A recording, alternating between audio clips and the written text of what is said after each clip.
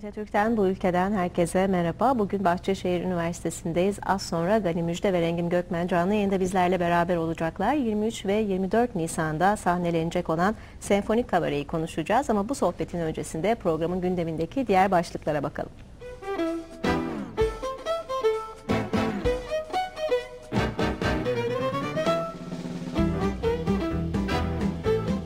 Genç müzisyen Cenker'den ilk albüm soft rock tarzıyla dikkat çeken Cenker vesaire vesaire adlı albümünü bu ülkeye anlattı. Uluslararası Plastik Sanatlar Derneği tarafından Özgürlük Sil Baştan sergisi başladı. 35 yaşın altında 111 sanatçının 133 eserinin yer aldığı sergiden görüntüler ve röportajlar bu ülkede. Bedensiz Kadın İstanbul Devlet Tiyatrosu sahnelerinde izleyiciyle buluşuyor. Hırvat yazar Mate Metesic'in kaleme aldığı Kazım Akşar'ın sahneye koyduğu oyunu yönetmeni ve oyuncuları bu ülkeye anlattı. Kültür ve sanat dünyasından haberlerle bu ülke başlıyor.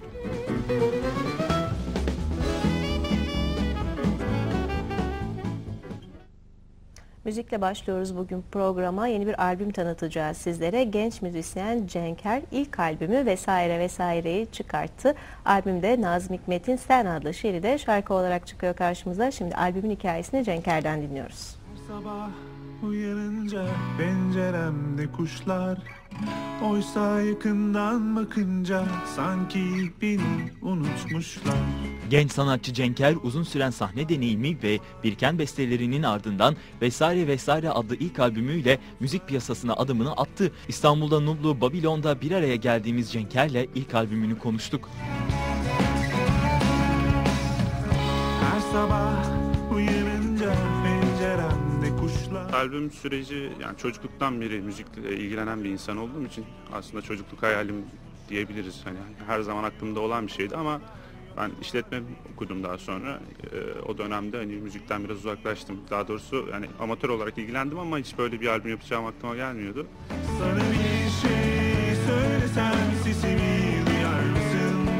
Belki çok özledim desem say çok kızar mısın? Albümün ismi neden vesaire vesaire. Ee, bir parçanın içerisinde zaten bu söz geçiyor ama aslında hani bunu seçip yani şarkının ismi vesaire vesaire değil ama bunu çekip e, seçip albüm ismi yapmamızdaki sebep aslına bakarsanız e, al, yani şu anda günümüzdeki birçok albümde biliyorsunuz işte seni çok seviyorum sen de beni sev. Hani aslında benim de şarkılarımda çok aşk teması işleniyor ama e, buna birazcık gönderme yapmak amaçlı hani vesaire vesaire şeklinde böyle birazcık da mizahi bir yönü olan bir isim seçtim. Albümde dikkati çeken şarkılardan biri de Nazım Hikmet'in Sen isimli şiiri.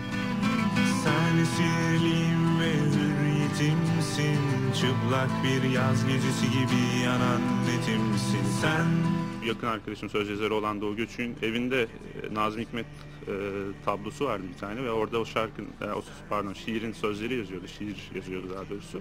Ve benim hani çok dikkatimi çekmiş ve sevmiştim. Daha sonradan hani askerdeyken onu besteleme fikri oluştu. Sen ve hürriyetimsin Çıplak bir yaz gecesi gibi yanan netimsin Sen Stüdyo süreci aslında bayağı uzun sürdü. Onun sebebi de benim devamlı olarak İstanbul'da bulunmamışımdan kaynaklanıyor. Ben e, gide gele işte ayda bir hafta, 10 gün bazen işte bir ayda 3 gün gelip tekrar geri döndüğüm. Adana'da yaşıyorum ben çoğu zaman.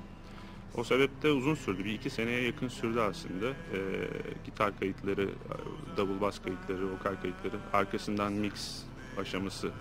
O da uzun bir süreç geçti. Daha sonra mixleri Emre Nişancı yaptı Taşoda stüdyosunda. Ee, sonra en son mastering'i Babacığım stüdyolarında Peter Snapper yaptı. Cenker ilk konserini İstanbul'da Lin'de gerçekleştireceğini ardından da Yeditepe Üniversitesi başta olmak üzere üniversite konserleriyle turunu sürdüreceğini dile getiriyor. Keyifli bir rock için Cenker'in vesaire vesaire albümü İMM müzik etiketiyle müzik marketlerde sizleri bekliyor. ellerini ver bana Başka bir şey istemem